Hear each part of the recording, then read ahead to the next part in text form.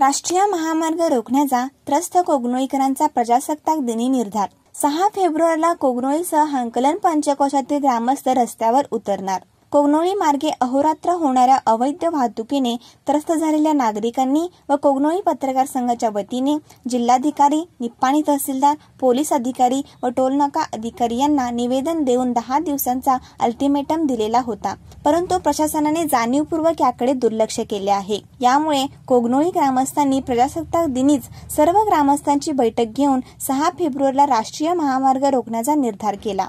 व्यवसाय सेवा सोसायटी येथे संपन्न झालेल्या या बैठकीत माजी जिल्हा पंचायत उपाध्यक्ष पंकज पाटील यांनी सर्व ग्रामस्थांच्या वतीने हा निर्धार व्यक्त केला. कोगनोळी ग्रामपंचायतीचे सदस्य विविध सेवा संस्थाचे पदाधिकारी पत्रकार संघटनेचे पदाधिकारी ग्रामस्था पालकवर्ग या सर्वांचे स्वागत के डी पाटील गुरुजी यांनी केले. या निर्धार बैठकीच्या अध्यक्षस्थानी माजी मंडल पंचायत प्रधान शरद पाटील हे होते. प्रारंभी सर्वांचे स्वागत अनिल चौगुले यांनी केले. यावेळी बोलताना पंकज पाटील म्हणाले की कोगनोळी मार्गे होणाऱ्या अवैध वाहतुकीमुळे आतापर्यंत अनेकांचा बळी गेलेला आहे. ग्रामस्थांच्या सह वयोवृद्ध नागरिक व विद्यार्थ्यांच्या जीविताला धोका निर्माण झालेला आहे. याकरिता सर्व ग्रामस्थांच्या वतीने बारा जानेवारी रोजी जिल्हाधिकारी यांच्यासह पोलीस प्रशासन व जनता प्रतिनिधींना लेखी निवेदनाद्वारे या अवैध वाहतुकीवर तोडगा काढण्यात यावा यासाठी दहा दिवसांचा अल्टिमेटमही देण्यात आलेला होता. परंतु प्रशासनाने त्याची गांभीर्याने दखल न घेता कोणताही ठोस निर्णय घेतलेला नाही. त्यामुळे प्रजासत्ताक दिनादिवशी संपूर्ण कोगनोळीकरांची बैठक घेऊन सहा फेब्रुवारी रोजी सकाळी दहा वाजता राष्ट्रीय महामार्ग रोखण्याचा निर्णय कोगनोळी हनबरवाडी दत्तवाडी व हंचिनाळ येथील ग्रामस्थांच्या वतीने घेण्यात आला.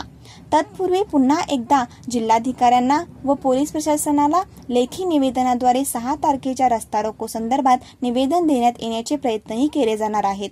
या ठिकाणी जर केली नाही तर आम्ही सर्व ग्रामस्थ हंसनाचे सर्व ग्रामस्थ सर्व पालक आम्ही सर्व मंडळी या ठिकाणी हायवे बंद करण्यासाठी आपल्या कोगनोळी पाट्याला जाऊन या ठिकाणी हायवे आम्ही बंद करू अशा प्रकारचं एक निवेदन किंवा एक सूचना आपण या प्रशासनाला देऊया. अशा प्रकारचं एक या ठिकाणी नियोजन माझ्या डोक्यामध्ये आमची काल सगळ्यांची चर्चा झाली जी प्रमुख मंडळी आहेत त्यांच्याबरोबर. आणि कुठे तर नाक दाबल्याशिवाय तोंड उघडत नाही हा जो एक प्रकार आहे जो प्रशासनाला आता आपण केला पाहिजे.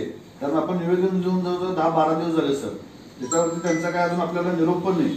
निवेदन आपण सगळ्यांना दिले. जिल्हाधिकाऱ्यांना दिले तहसीलदारांना दिले एसीना पाठवले एन एच आयला पाठवले. परंतु त्याच्यानंतर त्यांचा काय आम्हाला रिस्पॉन्स पोलीस खात्याला दिले? पोलीस खात्यांचा पोलीस खात्याकडनं आम्हाला दोन तीन फोन आले की काय नियोजन करायचं काय नाही याच्यावरती मिटिंग करूया.